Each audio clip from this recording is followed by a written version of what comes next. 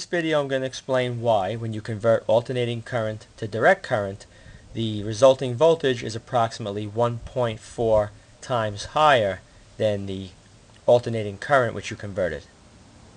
In this video I'll be using my Velleman HPS50 scope, a bridge rectifier, a 200 volt 100 microfarad capacitor, and a 1N4007 diode.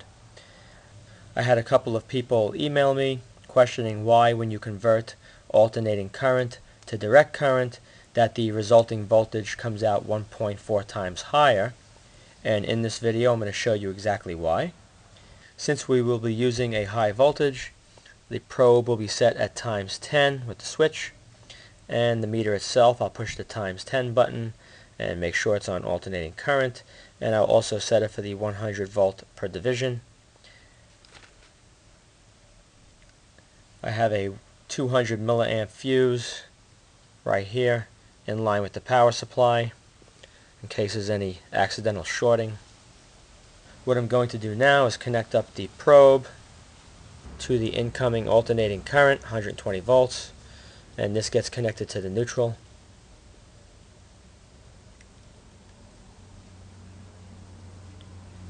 Alright, what I'm going to do now is I'm going to give you a better close-up on the scope. Okay, so we have a, right now we're not connected, we got a flat line. This little dark blue mark on the voltage scale going up and down, that, that will be the middle of the waveform when it comes on. And the bottom scale is the time. Right now set for 5 milliseconds. Each one of these little increments is 5 milliseconds. I'm now going to apply 120 volt power. Okay, you can see there's a nice waveform now. You can see a nice sine wave. Right here shows 125.3 volts. Now I'm going to add a line in here, a marker.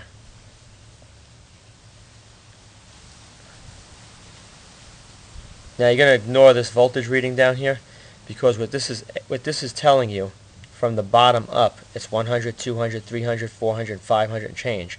That's why it's 507. I'm just going to show you as a reference the middle of the waveform. So let me move it down here.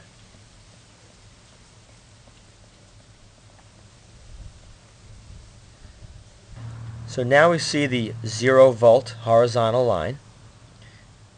Each peak that goes up is a positive peak. So you got a positive peak there, positive peak here, and then down here below the line is a negative. So these are all negatives. Alright, so if I want to see what the frequency is, so the frequency is going to be measured at the beginning of the waveform which would be right here. The negative is coming back up. And then at this point at the zero line, it wants to go positive. So the first marker I would put on that line, so I'll move that to the, you can see the marker over here moving over. Keep moving all the way over.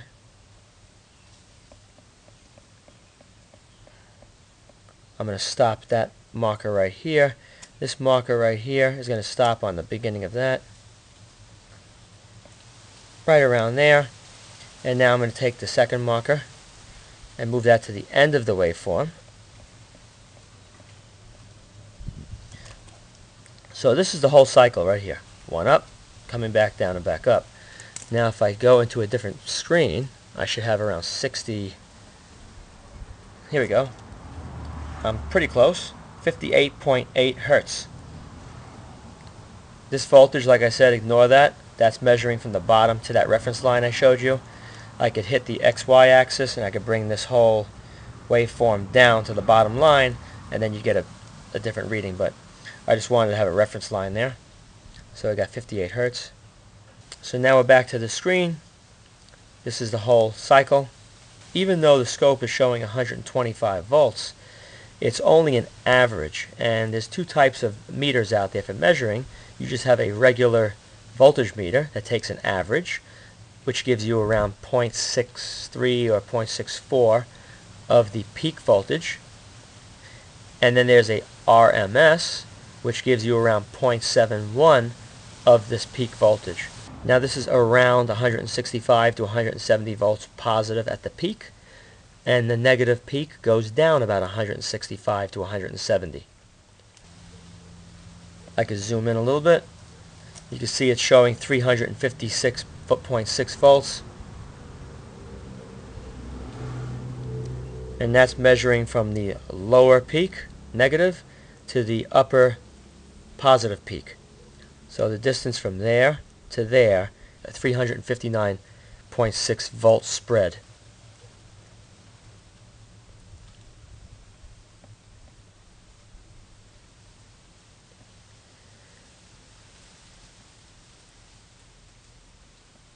Okay, and what I'm doing now is I'm moving the waveform down towards the bottom to give you a better readout of what's going on before I do it. Alright, so what I did is I moved the waveform down to the bottom line now, so it's you could get the, so now you can see the voltage of the whole waveform.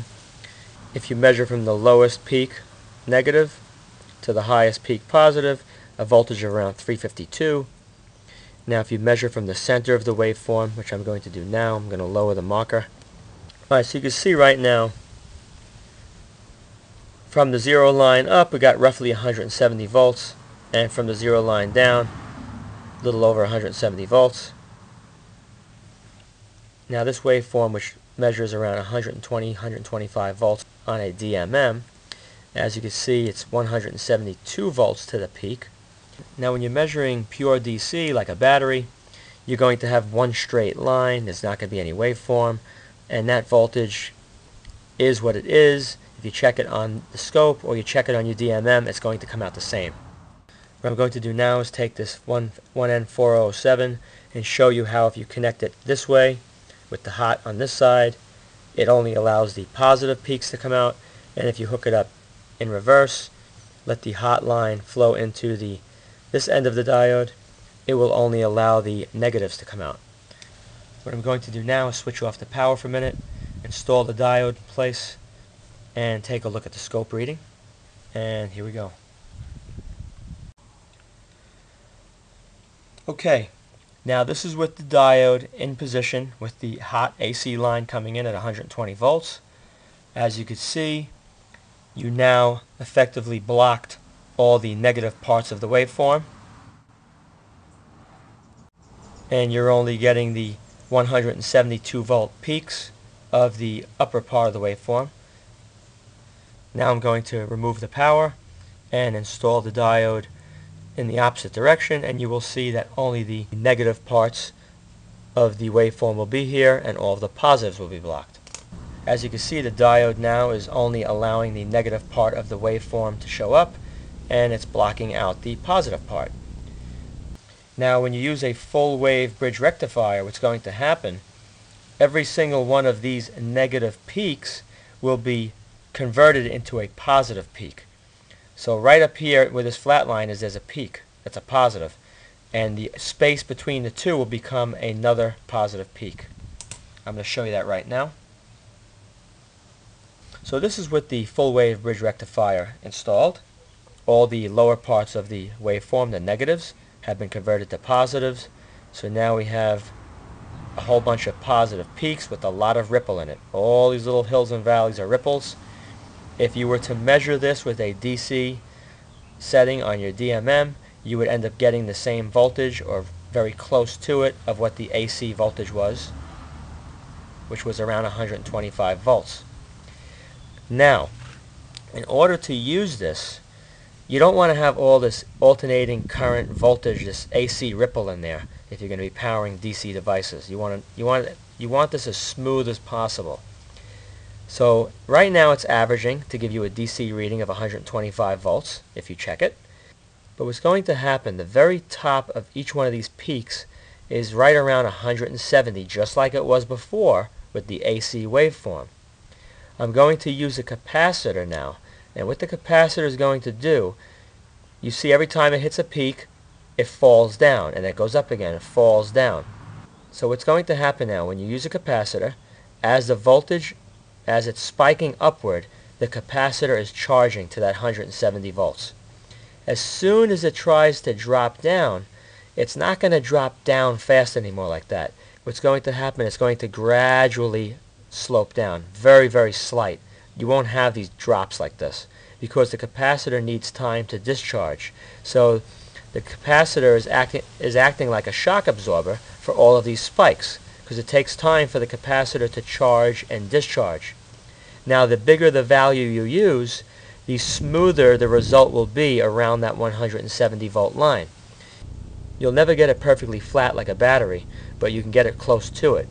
So what I'm going to do now is I'm going to apply a capacitor to the circuit, and you're going to see all of these peaks that drop down towards the zero line, they're going to be gone because the capacitor is going to prevent all these drops. It's going to keep the voltage up towards the top.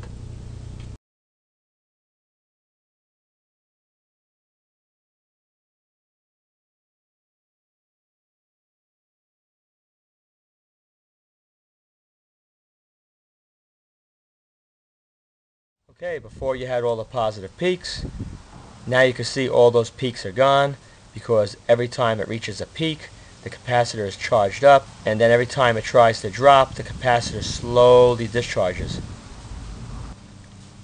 So as a result of the capacitor, you have a nice straight line right at 172 volts. This is why you end up with 1.4 times the input AC voltage is because all those positive peaks, the tops, becomes your DC flat line. And that's at 172. If you enjoyed this video, please subscribe, rate it a thumbs up, and post links to this video on other websites and blogs. Thank you.